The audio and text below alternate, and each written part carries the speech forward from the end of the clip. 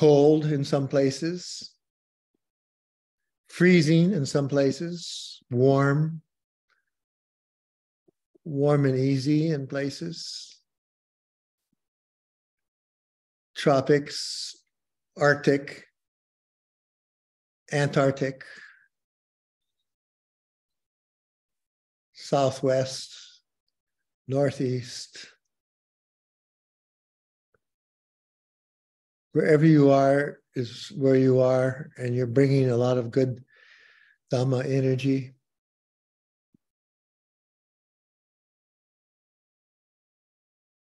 Through each of these windows and out of your house or apartment into the community and the country, wherever you are. Remember how much just a moment of metta or moment of mindful awareness has such a significant, unimaginable effect on all sentient beings in our planet.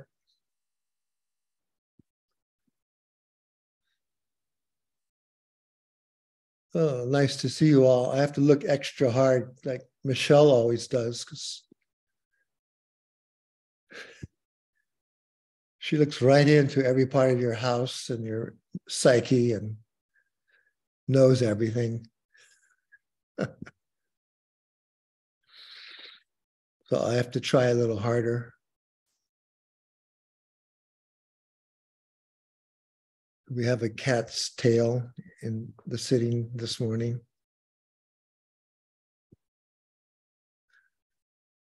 Darine, are you ready to lead us into meditation? I am ready. I'm also enjoying everybody's presence. it's lovely to be here with you. And can you hear me okay? Yeah, Very great, well. great. No, super sweet. It's just our bells we couldn't hear.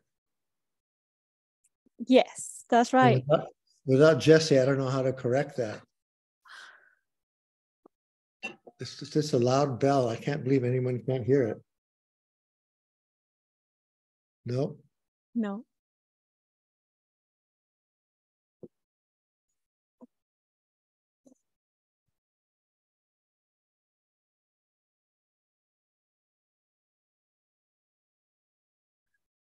Australia is there. Hi, Ian.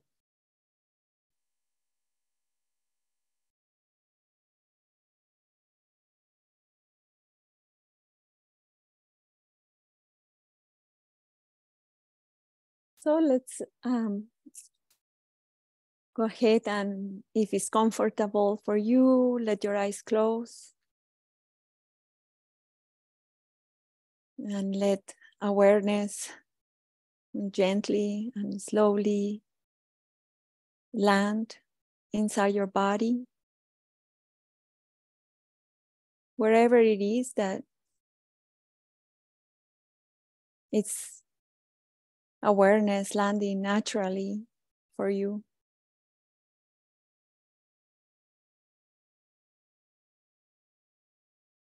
And whether it's in the contact with the seat bones and the chair, the cushion, or the movement of the breath.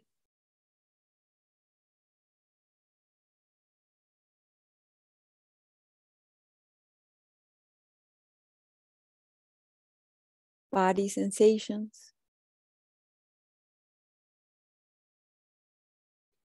Sound.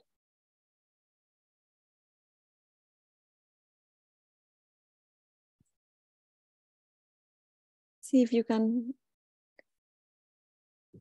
settle back and allow whatever the experience is in the forms of textures, vibrations, temperature. See if you can just receive them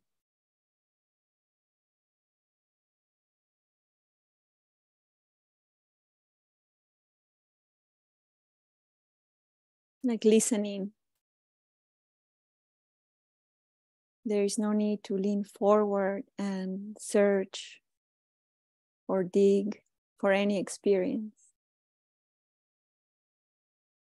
Mm, Trusting that whatever is arising and obvious, predominant, is exactly what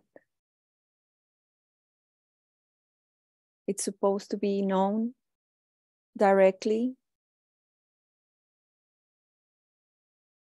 not through the thought process, even though we'll have an image. Or words to describe the experience. We just notice that. And relax deeper into this receiving quality.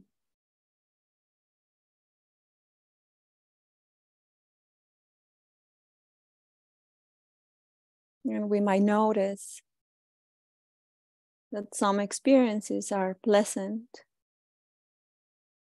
unpleasant, or neutral.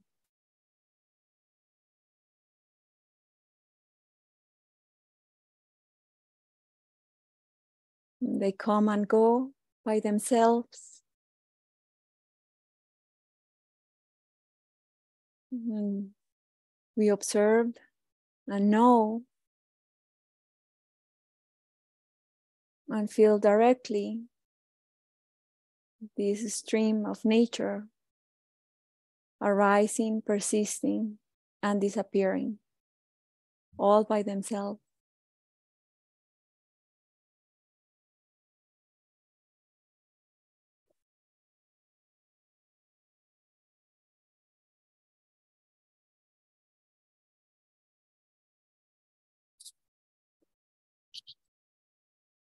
And also, it's important sometimes and helpful to notice the quality of awareness as is relating to experience or connecting with experience.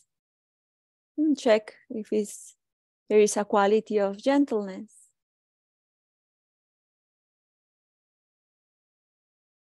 Softness,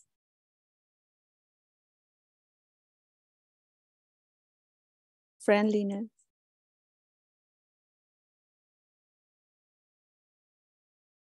Acceptance. Okayness.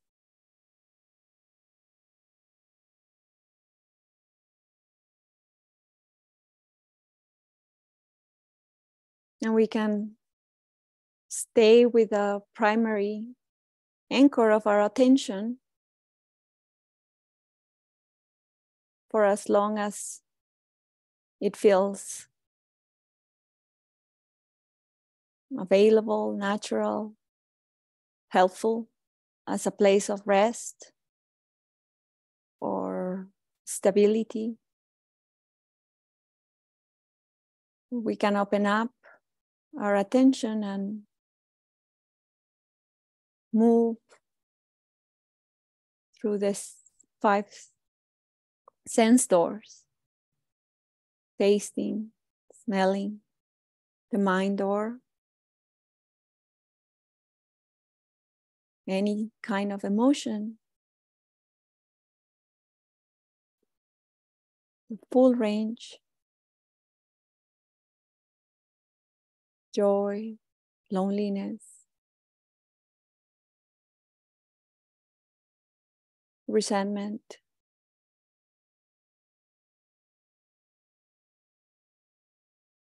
Compassion. Whatever it is, if knowing that this is not mine or me,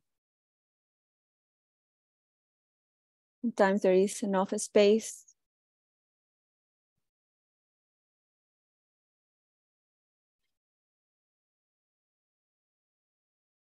there is not a sense of identification.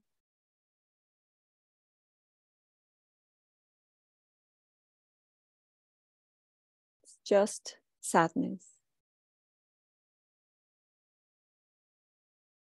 Just excitement.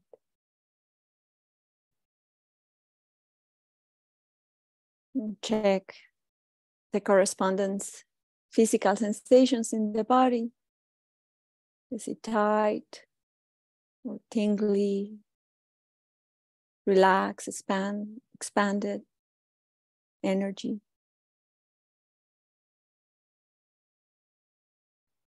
Bringing some interest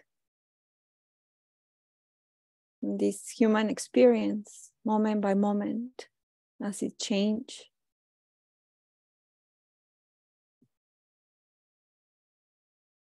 we try our best to relate with care.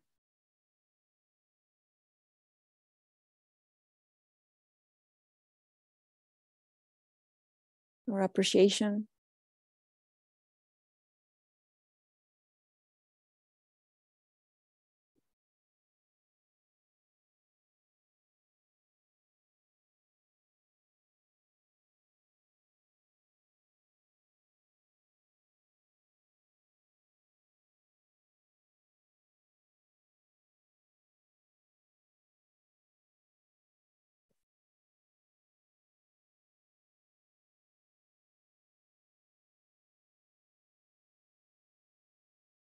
or a sense of discovery.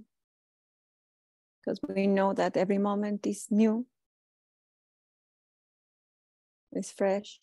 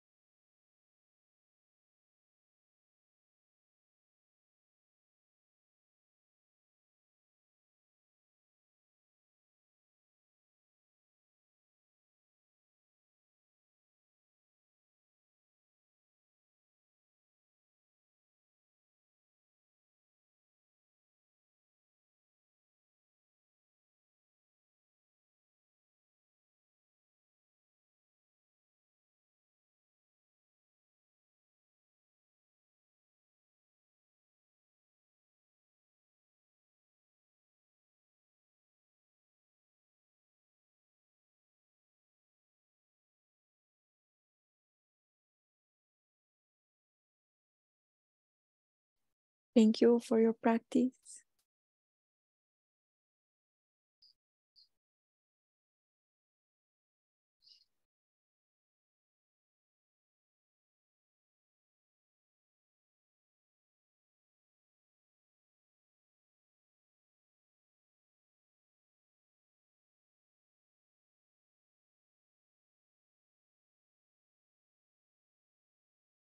Steve?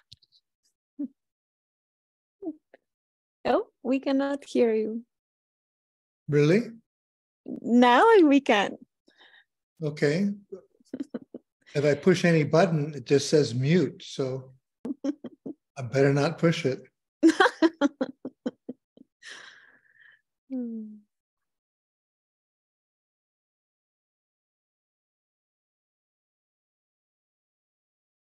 If you have any uh, practice questions,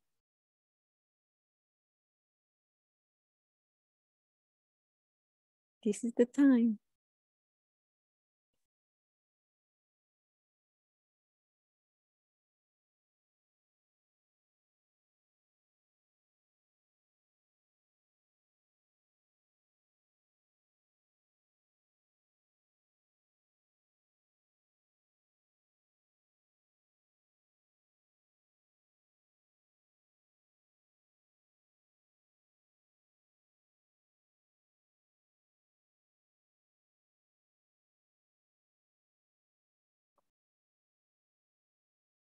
Or you can report on how you experience something through one of the sense doors.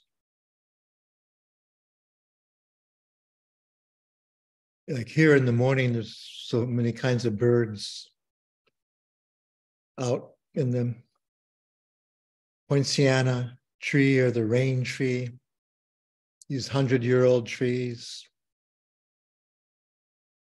And the sun's just coming up. And it's like their morning calls. It's just sound vibration in its direct purity. But of course, images come up and reflections and wonder. And just the attunement to all of that sound vibration, mental pictures, wondering, appreciation, the beauty. It's, it's, it's dark at first when we start. And now just the sun is coming through the trees. So sound for me is a nice early morning meditation, attunement in addition to feeling the body move from sleep mode to waking, a tendency to lean back towards slumber and come back toward waking. It's an interesting play, and our job is to frame the significance, the importance, the value of sati, that pre-verbal mindfulness that's just present for anything. It's there. Has no agenda, doesn't want anything, doesn't need to get rid of anything.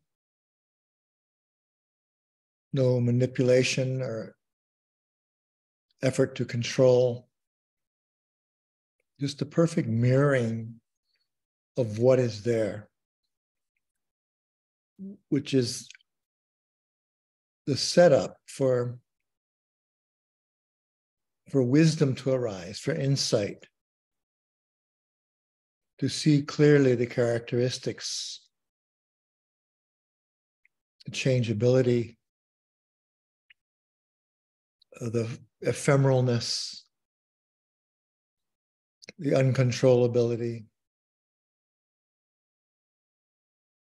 the emptiness of self.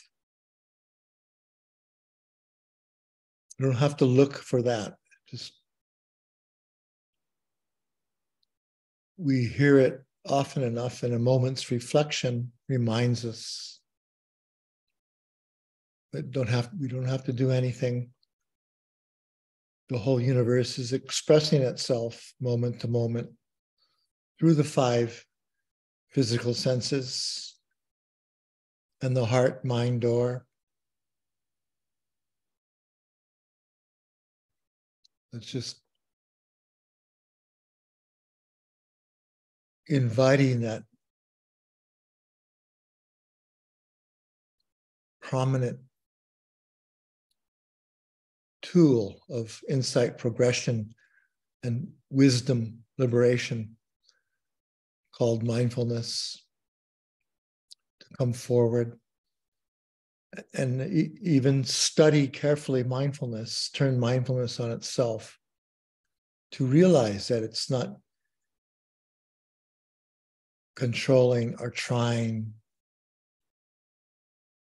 or manipulating or expecting, wanting or not wanting.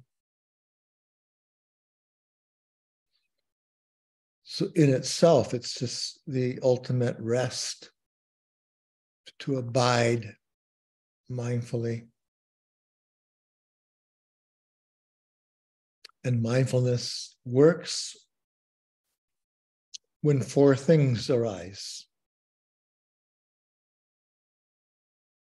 Kayanupassana is bodily, seen clearly. Vedana Nupassana is feeling tone, pleasant, unpleasant, neutral, arising naturally every moment, whether we see it or don't see it,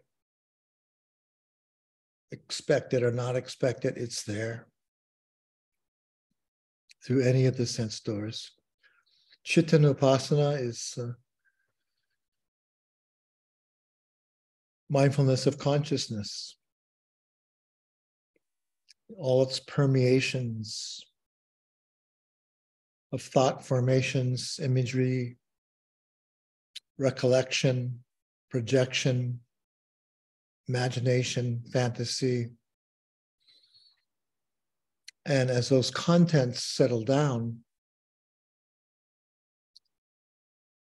the very subtle stream of conscious moments uh, itself, just streaming along. And there can't be consciousness without something to be conscious of. So, at the very least, consciousness is aware of itself in that stream. But if we look, it might be aware of the general general surround of sensations, visual experience, sound, vibrations, various senses, other expressions of the mental portal of experience, imagination, fantasy, recollection. Some of our recollections are wise recollection, wise consideration is what's happening now appropriate, useful, attuned to reality, to felt sense experience, things that we can say are real, are true.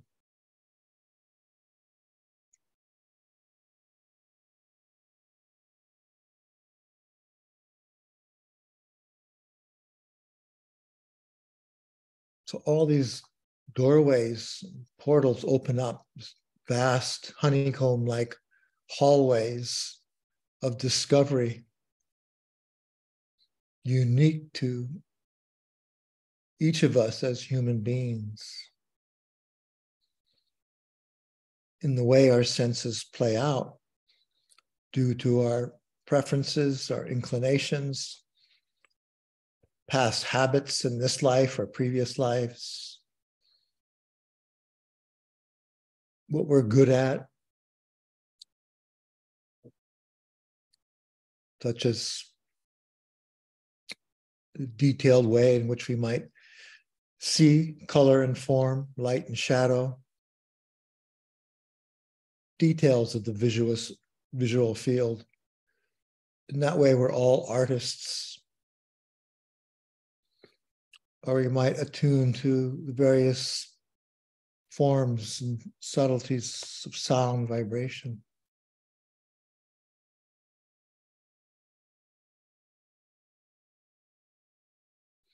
It, it just doesn't take long until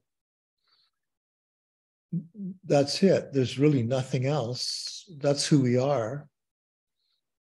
Sensation, sound vibrations, visual experience, thought formations, uh, fragrance, experience, taste, touch, tactile sensations. That's our world, and it's so vast.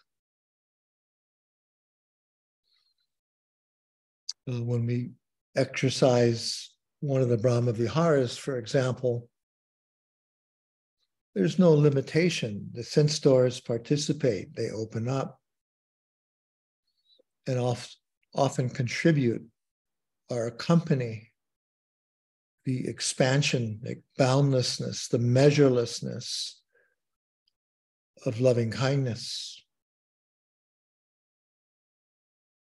And the deep, profound,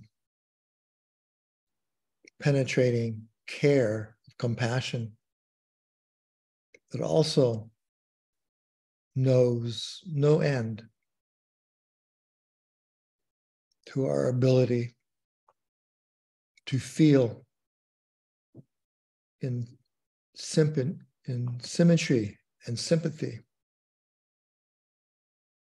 our own and others' pain. Likewise with joy.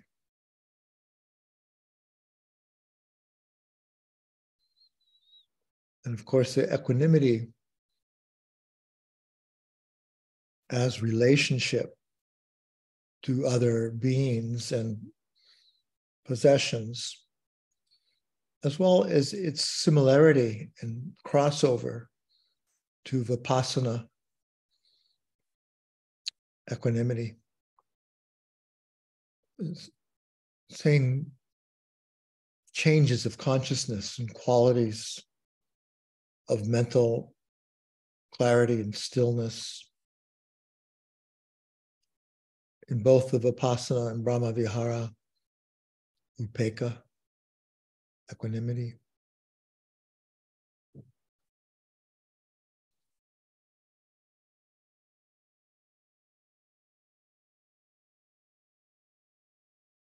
Just to appreciate that every one of you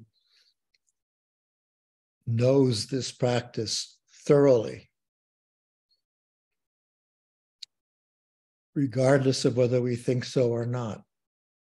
And we use our wisdom every day, just automatically knowing what's the skillful or unskillful way to think about something, speak about something, do things. Whether we act on that or not, we know it. We're to attune to what is not harmful, not hurtful, but unifying and helpful and building a world inside and outside. And the moments of appreciating that, like our practice of mudita, makes us happy to understand when we understand something, we love it, whether it's a person or a place. Deep understanding, non intellectual, intuitive understanding, and love come together. Metta and Panya, wisdom.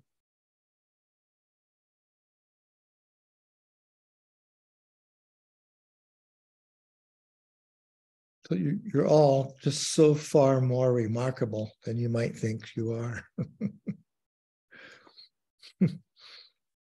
and we enjoy seeing it. It's, it's in you. You sit here every Sunday and probably many times during the week, and of course during retreats. It's such a joy and it's such a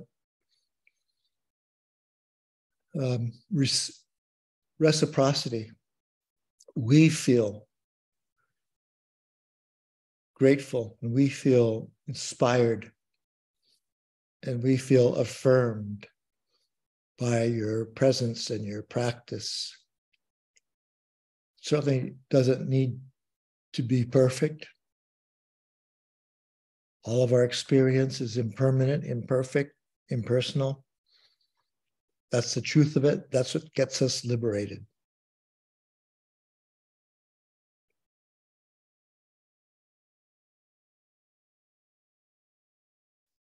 So maybe questions or comments on that little rift. The morning rift of the sun now is in my eyes.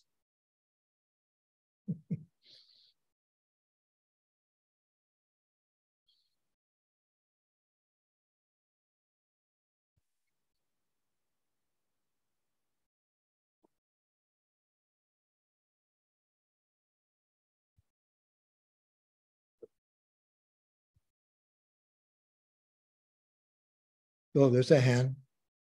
Catalina. Good morning, or afternoon, or evening.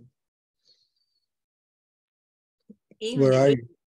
Evening here, and frozen evening here. On the eastern coast?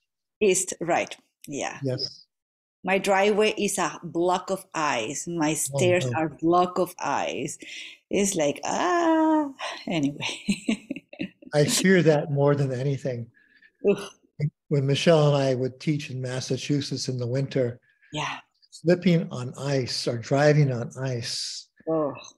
banging my head or my back on ice because you just you don't know it. It looks so solid, and then zoom. Yes. You're just down. yes. It is scary. I love water, but I love the I love the soft water. Mm. yeah. Mm-hmm. So, so my, I hope you're being careful. Yeah, yeah, yeah. I, I walk very, very slow. Good. So I have a question. Um, is regarding equanimity and death. I have been like a, I, I I talked spoke before uh, when my nephew died, um, um, and then I have had a lot of death, like uh, in my family, in my friends, with my pets, and and and I like a, one of together. Oh, oh, Jesus is awful. Like a, uh, yeah. March was uh, my one my cat, then October was my nephew, then um, another um, my dog was in December. It's Like uh, it's one after the other, and now one of my cats is dying too, and now today I know that one of my friends is dying too. It's like oh my God, is is it's um it's kind of overwhelming. Yes, of course. You know, like uh, I had been able to take some of the death with a lot of equanimity. I am so surprised about that.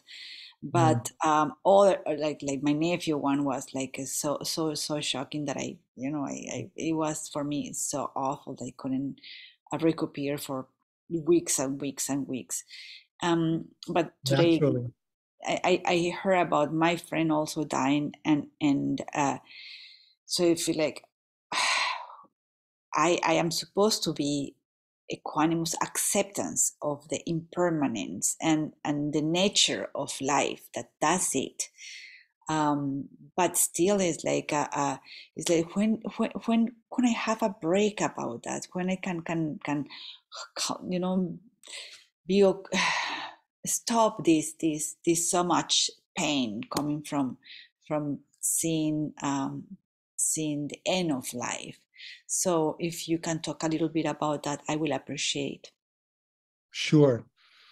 And Catalina, it's not that we're supposed to see and understand anicca nature, impermanence, or dukkha, the fragility and unknown unsatisfactoriness of life, or the anatta that we can't control things, we can't keep people and things that we love alive, we can't prevent them from passing. It, just those are results eventually and gradually of our practice. It's the same three insights that we, we have again and again over the years that the Buddha struggled for many years to see. And even after his awakening, the same insights he would have when he would sit, you know, to just calm into and sink into the truth of things, that all things are anicca nature and they change or they pass away because that's the nature of things, or they're dukkha because they're unreliable for security and to hold on to, and they're uncontrollable.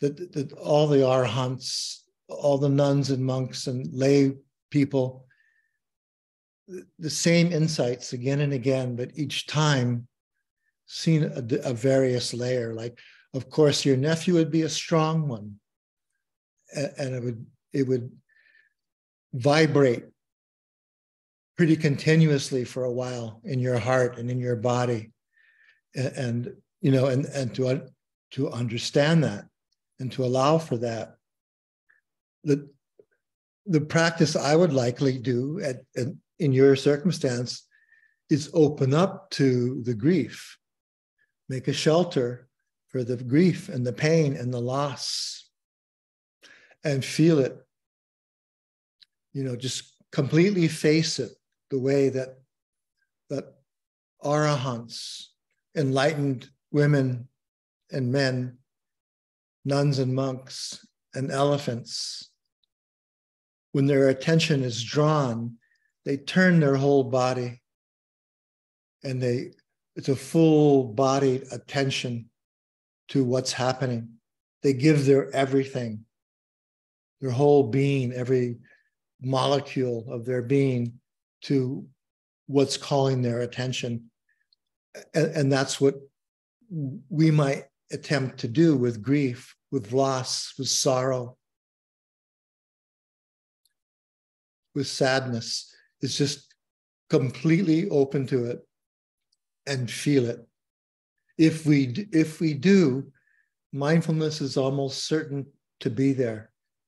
And if mindfulness is there for consistent moments, so is the wisdom that sees clearly the nature of grief without identifying with it, without making it I or me or mine. The nature of sorrow is just sorrow, not belonging anywhere. We don't self reference it. It's just sorrow and grief and loss and by completely feeling them at those times, our, our system is able to do what those emotions are meant to do to grieve, to feel loss, to feel sorrow, to go through that process, often many times. Depending especially on the gravity of the loss like your nephew. And then the, you know, the closeness of all these, you know, your pets and so many things happening so close together, kind of overwhelming. So that often you you might want to step back and just feel compassion, self-compassion or self-love for yourself or your surround, the environment around you. The you know, the birds, the sun, the leaves, the grass, just connect to everything around you that is makes makes you makes your physicality. Almost everything we see and hear contributes to this sixth sense sentient being that we are. And you need to respect, you need to respect the need to step back and, and, and have a rest from the overwhelm. And maybe just take little tastes once in a while of the grief or the loss, little reflections like a homeopathic dose and then step back again and have touchstones, safe places that you go to in your body, in your imagination, or in your actual environment. Something you see, you know, across the room. I have a couple, a few Buddha statues and a crystal and exercise equipment and just kind of stare at those things and some art and just, well, there's that too. And, and what that Buddha face says to me, or what that Japanese empty circle, you know, says to me. And rest there, breathe there, be there. And when you're ready to, you know, uh, again, allow in some of that loss and grief. And in that way, you're kind of opening it up to the earth to help you. It's not all confined and just in your body, in your house, in your space. It's kind of out there everywhere because everything experiences loss, change, grief, sorrow, death. And so you know, to give it that kind of space, as well as acknowledge the personal. Back and forth that way and then like invite nature to tell you what's happening without any expectation. Darine, I know you can add to that.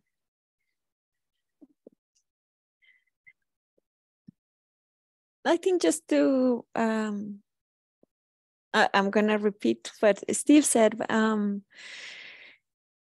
if you notice that there is resistance, like let resistance guide you in this uh, microdosing or um, of feeling the pain and and know that you can also or the loss and just keep an eye on resistance as um uh, your guide, but also uh, to include to have a relationship with it in this process.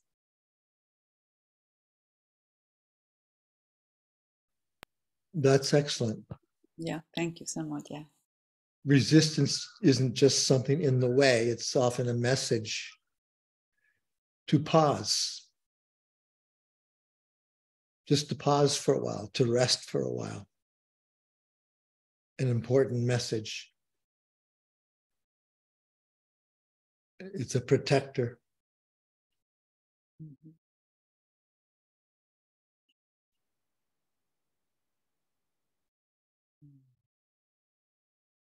Thanks, Catalina, and thank you, Darine.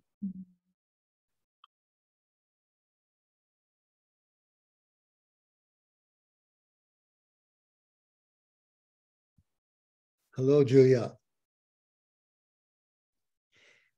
Hello, I want, I, I want, is it, oh, is it, yeah, you can hear me. Okay, now.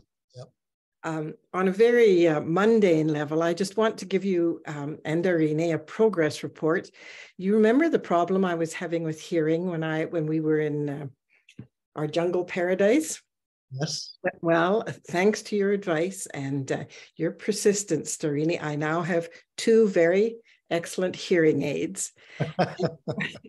when you were talking about the the sense door, yes, but, but it's it's changing the the it's what? Yeah it's changing the the the sense door experience for sure.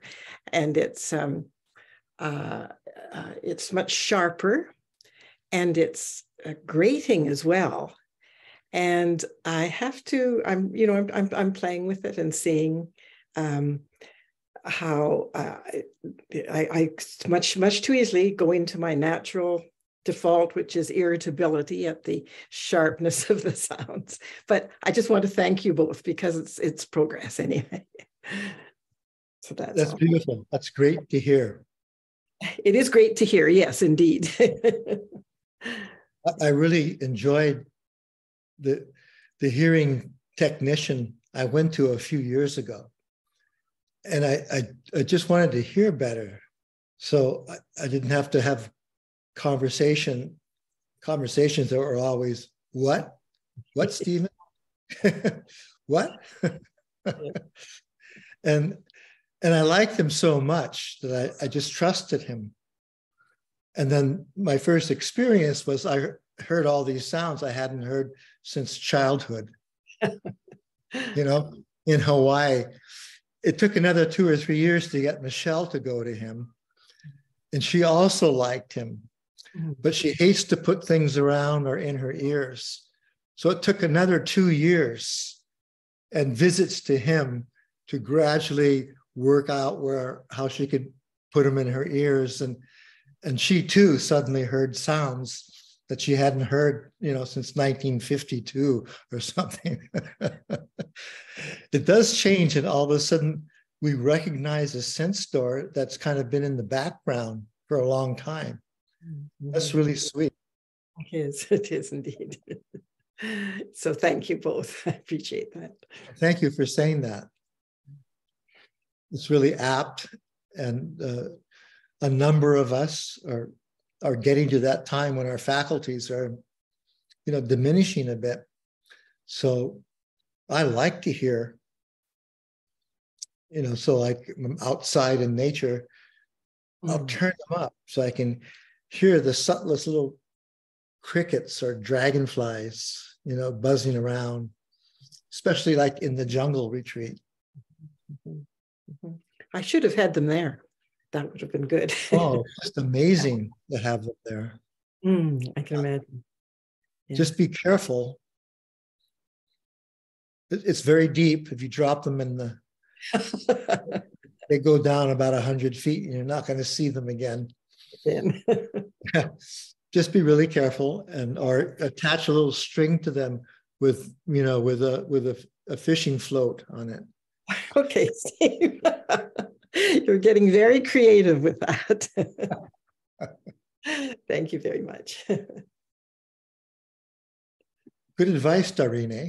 I didn't know you did that. What? Just kidding.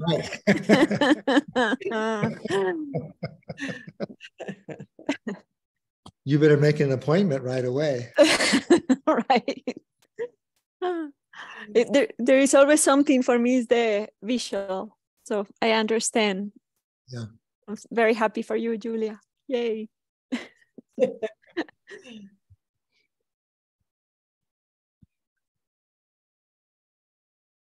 these are all significant teachings you know at if we're anything over 30 or 40 or 50, especially 60, we're going to be affected by one sense door or the other. And we either need more care, more silence, more patience, or we need an instrument. Glasses, hearing aids,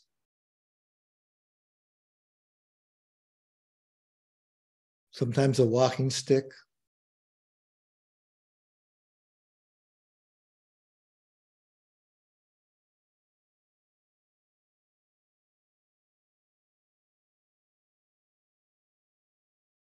Are you getting ready for a question, Tracy?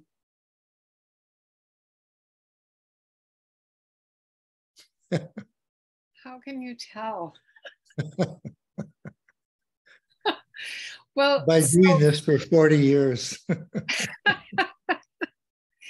well, so there's a couple couple of things. One is um, I'm not sure if you and Darine have seen that someone was asking, um, saying in the chat they were hoping Michelle was okay. So I wanted to make sure you knew that. She's okay. She's doing a self retreat. I know that, but I, I yeah. just wanted to make sure you knew, so you might speak. Yeah. Well, um, we do. She she texts me whenever she sits, and if it's a time when I'm awake, I sit with her. Oh, yeah, that's nice. Um, well, I've had this question. Um, maybe I'll say something first. So, you know, I did the one month retreat in January. And so being back in daily life, um, it's it's formal practice with the mind, um, doing so much thinking. It's just it's just unpleasant. just and so what do you mean what do you mean by mm-hmm. so much thinking tracy. Well just just noticing the mind keep like losing the attention losing the concentration you know and and like being with the breath or or something and the mind goes to lots of thoughts and um, and are they are they troublesome thoughts or? Well it's just just things moderate, that are happening. things are happening yeah. Yeah in in life or you know thinking about not the present moment. Right. Planning things you, like that. have you been able to capture some of those thought features or explosions or however it occurs as just that like a like a light rain or an intense rainstorm, you know, just barreling down on the ocean or the lake, just this pitter patter, pitter patter, pitter patter, and not be involved in the in the individual raindrops, not be drawn into the story, into the content, but recognizing that thoughts are just mental sensations, kind of like physical sensations, or thought are ear vibrations. I know you do that sometimes. I know, I know, not so, not so poetically in, in daily life, but um, I I I did start to really, you know, like realize, okay, there's just so much aversion, and then that sort of, so that has helped with the um, feeling like being able to kind of catch that the aversion and then it doesn't perfect and i don't perfect. get so caught and then Great. it's more like un, unpleasantness um and and that, I, that's even better because you move from the reaction to a reality. You know unpleasant that doesn't have that moral weight of a reaction which is karmic causing. So aversion causes karma. Unpleasant feeling tone does not. It's just a result. So all the pleasant, unpleasant, and neutral feeling tones we have are simply results of the past hour, the past life, the past 10,000 lives, and they just come pouring out. But they, they don't leave um, the mark that an karmic action does. Mm-hmm. But a reaction does attachment, aversion, ignorance in response to pleasant, unpleasant, neutral, they are the active, the activating forces that create our personality, our mental tones, moods, uh, and therefore um, usually are what's behind an intention when we think or speak or act. So to change how we think or speak or act, if if if we don't like it, if we're aware that it's it's sometimes it's often or sometimes negative, we we try and do just what you said. Just sort of go back to the level where it's simply unpleasant and not reactive, not the aversive reaction. That kind of care and study slows you down in your daily life when it's much more difficult. You know, because everything is bombarding our senses. But if you pick one thing to choose to make your touchstone to get good at, such as sound, it spreads everywhere. Then, then once you start to dehook from reactivity, attachment, aversion, ignorance, it affects all of our sense doors.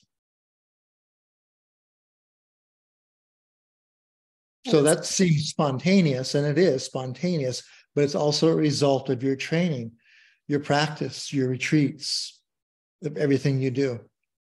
And to feel appreciation and joy for that. That's significant, much more than we think. Every time we cut off that link between a reaction, such as aversion, which has a, an effect on our body, on our moods, on our personality, and it sets up an energy field around us so that we kind of carry that aversive cloud with us. Every time we cut that off and it's just unpleasant, we're creating equanimity and peace. And we're just able to be with unpleasant, it's just unpleasant. Or pleasant without the attachment, it's just pleasant, sometimes really pleasant, but still without the attachment. That's the kind of work that you're doing. Reminding me. Yeah, remind yourself that and have mudita for that. yes. I think of times before I could have, you know, before I knew that or had that that skill, or when I forget, even now, and then recollect, oh, wait a minute, this aversion is just something that's really unpleasant. Feel it. And I go to the body and I feel the unpleasantness. And then the, the hook disappears, the reactive hook that would otherwise, you know, further deepen aversion in my personality stream or in my body system. It lightens up. When we're really with unpleasant, it's a nice experience because we're seeing it clearly what we understand, we, we, we care for. We'll feel compassion for unpleasant, not reaction.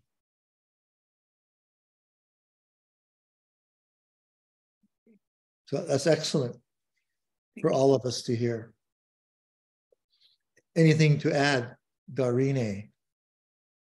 Dear. Thank you. sometimes you know i live in the desert and there is so much space here. And when another way of um, relating to this predominant thinking thinking thinking that is so unpleasant i feel like i open up awareness and there is so much space. And in this spaciousness I can have the relationship uh, in this spaciousness.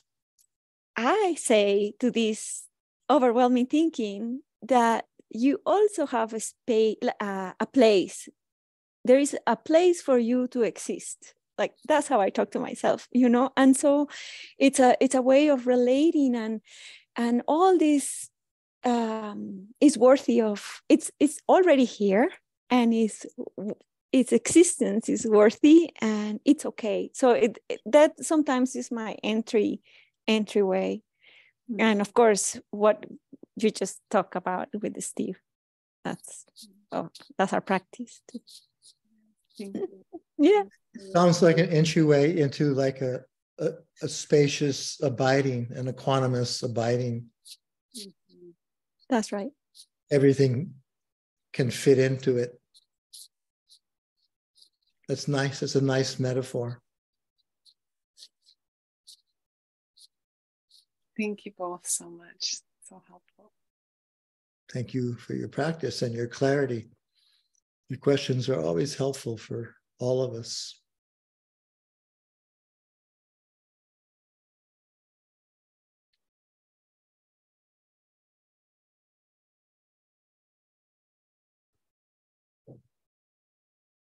Anyone else who has the courage to be imperfect?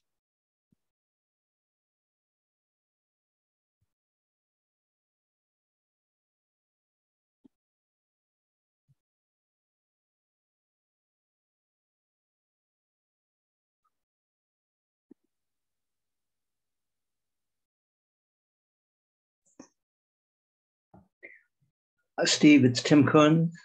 Hi, um, Tim. Yeah, hi. Yeah. Good see you. Uh, it's you can see my screen is going crazy. I may speak and darken myself again, or maybe it'll stabilize. I don't know. But um, what you've been saying, what you and Darine have been saying, has been very helpful on a couple of levels. Uh, when you just when you use the phrase, um, "I am going to darken myself," I guess, because I can't get this craziness to stop. Um, I'm used to it. I mean, if you're okay, I'm okay. I'll go ahead and is whatever is possible. Yeah, it, it, keeps us awake, you know, and we keep having to follow you. it's like a light show. Yeah, yeah. Um, what's been happening for me? Your your your comment, your phrase, to create space for everything. Um, I'm now 74, and I've increasingly had my own health issues. And at times I do walk with a cane. And every time something goes wrong with my body, wrong in the sense of, oh, I don't know what, you know, I'm not walking so well, or I was hospitalized twice this past summer. And there immediately is a kind of panic to it. In other words, I need to have a fully intact, fully functioning body to practice well. I mean, I don't have hearing issues, but I can't hear. How can I possibly practice without being able to hear? I need to correct my hearing before I can practice. That's kind of the mindset. Um, I mean, I know it isn't good, I know it isn't skillful, but that's the mindset. And your phrase of is it possible to hold everything in space? I'm having walking issues. Okay, that's true, and it is unpleasant and it is concerning, but can I create a space around it where this is still part of a larger whole? I'm not. I'm not really phrasing the question very well, but um, well, I mean, I, guess, I understand perfectly what you're saying. Well, I think maybe just to sort of wrap up the, the phraseology for me, it's like, I mean, I would say I have, you know, on some level, I'm aware that I have Buddha nature inside me. There's this infinite space inside of me. And my body, of course, is, is constantly changing and is beginning to fail.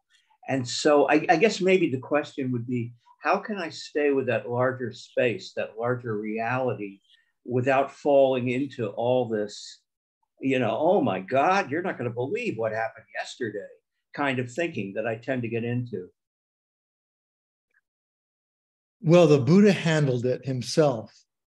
As he began to age and get injured and deal with his bad back yeah. and, and his bad cousin, Devadatta, who on several occasions tried to or even succeeded in hurting him. Right. You know, is still had the same bodies like we do and was and was fragile and kept slowing down as the years went by.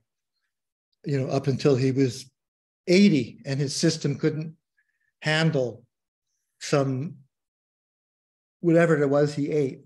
Some say mushrooms, some say some kind of meat. We don't know. But of course, he did make space for it. And in our talks, in our talk this morning about getting hearing aids, that opened up space for me again. Mm-hmm, mm-hmm. And you you talk about it, so I highly recommend going to a place and just checking out what it feels like to have hearing aids. Well, see, I hearing is not an issue for me, but I have other body issues. Um, Other body issues. Okay. Yeah, it's not so much I can't hear, but the idea would be that somewhere inside of me there's a, a thought or an image. I need to have a fully functioning, intact body in order to practice effectively. And I'm yeah. aware that that isn't true.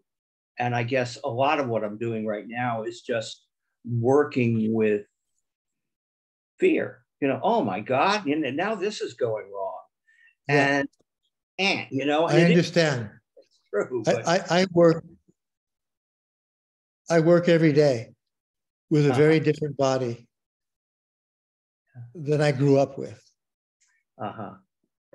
Yeah. you know in the last four years I, half of my body is either uh, numb or pinpricks or pins and needles, you know, or I I can't feel it. I stumble, I fall. I have a I have a I have a cane someplace in the back room. I got many years ago from Canada. That's a, a carbon fiber cane. And I think of it every day. I well, haven't brought it out guess, yet. I guess my question is what enables you to be okay with all that going on? You're saying all this has happened to your body, and yet on another level, you're, you know, you're fine on another level. Well, I'm resisting, I'm resisting getting the cane so I can just first try and deal with it very mindfully, yeah. moving very slowly. You know, so far, e- even though I have fallen a few times, mm-hmm. I, I haven't my numb leg, I haven't banged it into a rock or a corner or a bedpost. I haven't injured anything. Yeah. Yeah. And you know, and my body's still pretty flexible. If I fall, I get right back up. But you're saying that if, if there's a key to everything, it would to, to try to be mindful if possible at all. That would be the first. That is the key to everything. Yeah, yeah. It is the key to everything. So I, I use that injury, I use that aspect of aging as a primary meditation object. Uh-huh. Because yeah. it's, it's always there. In other words, every morning when you wake up, you're going to wake up with these until I fall asleep. Yeah, the, the, yeah pins and needles or prickliness or seizure or tightness or tension or numbness all the time, all throughout the day. Right, right, right, right. And I can still swim. I can still do stand up paddling, yeah. snorkeling, surf, body surf. I can, I can do all those things I did when I was younger. I, I just work around it, you know my sense of gravity has shifted a bit to the right. So I compensate with my right side while still trying to exercise my left side because it's in therapy. So uh, it, it, needs to move. Yeah. And Pilates helps, and acupuncture helps, and Tai Chi helps. So I do all those things that help. And when you're I, consciously working all the time with working with, all the time. Yeah like I, like we do with mindfulness. We, we work all the time with mindfulness. I had read an. I'm not going to keep talking, but I had read an interview with a rock star who goes way way back, and he said it is really strange to be in competition with yourself because we put out a new record and everybody harks back to the record that we put out 30 years ago. And I mean, I feel like I'm in competition with myself in terms of images of what I used to be able to do and now can't. And clearly that's not good. I understand that. I, do. I remember particular waves I surfed at Waimea Bay or Sunset Beach yeah. Yeah. that were three times bigger than me or four times bigger than me yeah. that I executed, you know, really well. Uh-huh. And imprinted themselves in me like a gift, like a precious gift. Something you can do. Yeah. Yeah. I, I, I remember exactly. I know my body remembers how it felt. I can't do that anymore. I shouldn't do it anymore. I won't do it anymore. I do the body surfing down on the West Coast here. Mm-hmm. And, and, you know, that's good enough for me. That's big enough for me. Nice. And I just recollect the youth and athletic days of my youth. Uh, you know, it was like always summer. Mm-hmm. And I had a lot more abilities. Yeah. It's no longer my youth. I no longer have those abilities. So I just, you know, I bring it into what abilities I do have and what I can do. Yeah, and you don't make it a problem. It doesn't sound like. I know. don't make it a problem. Yeah, yeah. My Pilates teacher keeps using me as an example on her website, saying, if this 70 something old guy can do I it, can, yeah, yeah, anybody yeah. can do it. That's great. You're serving as an inspiration. Yeah, yeah. Uh, listen, thank you very much. Thank you. Yeah. Thank you, Tim. Yeah. Stay with it. Yeah, I will. Yeah. I mean, I got no choice, basically. we don't.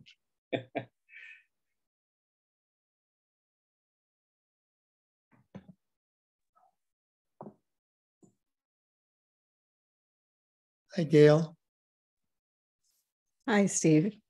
Um, I just I just wanted to say I wasn't planning to say anything today, but this is so striking me. I'm um, thank you so much for what you've said so far, and I'm um, just getting over a pretty bad bout of COVID, which is was not fun, um, and I think we'll be getting over it for a while. And um, what I've found that's so interesting is, you know, when I was before this, I was working and there were so many things in my mind, people that irritated me, and those stories just, you know, get huge. And I'm constantly having conversations with them in my mind. So now I'm home. I'm starting to recover. Um, I happen to have a guest staying here who's a bit taking advantage, I think, of being here and not very helpful even when I was ill. So so now I'm shifting to that. So now there's all these conversations in my head and these stories about, you know, what am I going to do about that? And I thought it's almost like I'm I it's like I'm kind of almost addicted to those conversations in my head, you know, of and um so that so the idea of you know um realizing that thoughts are just thoughts and you know all the things that you've been saying so far was really really helpful um, but it's kind of like, I'm going to go find those things. You know, I'm sitting here in my house with almost no one that should irritate me, and I found someone, right? So it's like, um, I'm just wondering if you have more to say about that. I've been trying to, this, I feel this is a, this feels like the thing I'm working on this year very much. I'm about to retire soon, and I'm like, okay, I've got more time to work on this at work. Apparently, I've got, I'm always going to carry it with me. So, um, yeah, I don't I don't know if that makes sense to you or not. It does make sense. Gail, do you feel like you have a discipline? What do you mean by discipline in terms of? Well, discipline comes from disciple. A disciple does what she loves to do, mm-hmm. whether it's art or flower arranging or cooking. Um, you know that could be missing. I mean to a certain extent i think i'm i'm soon retiring so i'm putting a lot of energy into work and thinking about what's next and so there's not i do have spiritual practice meditation um, that's what i wonder about i do do that. I do do that. Um you know that is just like well, meditation but not can you do it now? can you do it at home? Can I you can. tell your guest that mm-hmm. that your your life depends on having these periods of solitude and yeah. seclusion at such and such a time in the morning, afternoon, or evening. Mm-hmm. And, and and follow that. That's your refuge. That's your source. That's your resource. Yeah, maybe because I've been ill and not been able to keep that, it it's um, made it more well, difficult. You just have to enter the space. You don't have to do anything. You okay. can lie down and take a nap. You know, you can do any posture you want. And if you fall asleep, good. That's because you need it. But you're just taking that sacred space, mm-hmm. that seclusion, because it's helpful. Then there's no intrusion. There's no outside intrusion that acts, activates our, you know, our hindrances. Yeah. It's a, it's a, it's a lovely thing. And I'm, I'm very confident you can explain it in such a way that that discipline for you is the same as the nurture of food or the nurture of the environment. Yeah, I think um, one of the things I, I notice is that I, I bring all these thoughts in when I do that, even. So that's part of the frustration of that is that even that doesn't always feel safe. No, of course not. And that's mm-hmm. that's what thoughts do. Mm-hmm. You know, that's their resistance to feeling feelings. You know, you know, th- eventually we develop more and more a relationship with thoughts and they don't hold the same grip. Mm-hmm. Sometimes they're useful uh, because they kind of might help block overwhelming intrusion. So we we go to skillful thoughts or happier thoughts or compassionate thoughts. Other times it's just, you know, the usual chaos of thoughts. And and we just have to make space for it or understand it that in some way underlying the thought process, it is a protection against feeling the feelings that you're having by the intrusion you feel by the guest in your house. Mm-hmm. So, and once you understand thoughts that way, you can you can bow to them, you can be grateful to them, and then you can try to replace the the scattered or difficult or unhelpful thoughts with good thoughts. You can start using Brahmavihara phrases, for example. Mm-hmm. May I be peaceful just as I am. May I be happy and joyful with whatever is happening. May I be able to live in this world with all its intrusions and unexpected occurrences happily, joyfully. So you're tuning, you're tuning, you're using thoughts to attune to the very goodness of your being, mm-hmm. which in turn then uses your senses, including speech and thoughts, in a skillful way. That's called wise reflection. So, wise reflection is also thinking, but it's very good thinking. Hmm.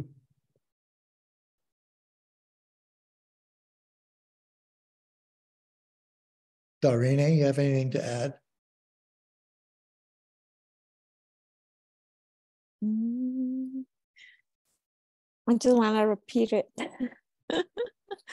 that thoughts are many times, as Steve said, is a protection for for the heart, and mm. it's uh, just see if you can just drop and and feel the heart area.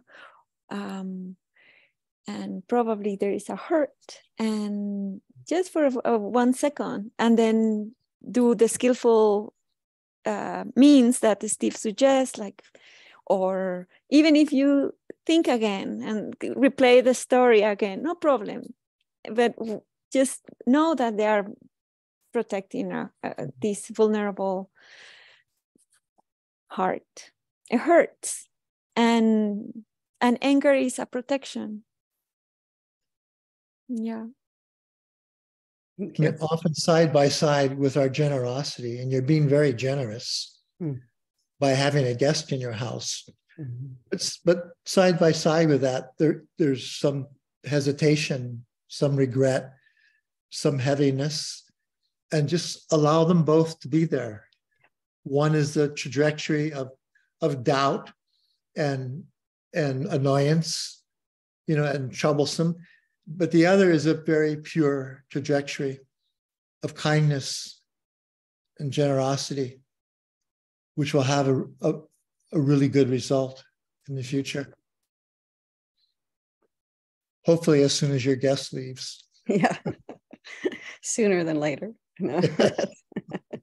Thank you. It's helpful. Yeah, you're very welcome, Gail.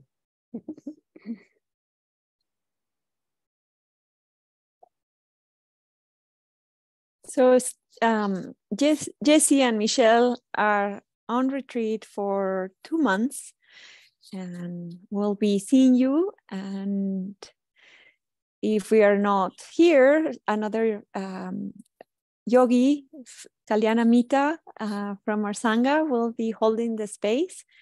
And but we'll continue with these Sunday seats until they are back. And in a way, we're supporting their retreat too by sitting together. Thank you so much. Thank you for your practice. Thank you for helping all of us, Michelle and Jesse, Darine and I. It really helps. It helps me during the week to think about the Sangha, to know you're out there and doing your best in your day to day formal and informal practice, whether you're, you're in Kyoto or Kansas or Manitoba or Chiapas, Mexico. Take care. We'll see you on Sunday next week.